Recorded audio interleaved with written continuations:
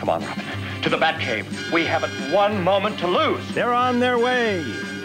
To save the world? Some days you just can't get rid of a bomb.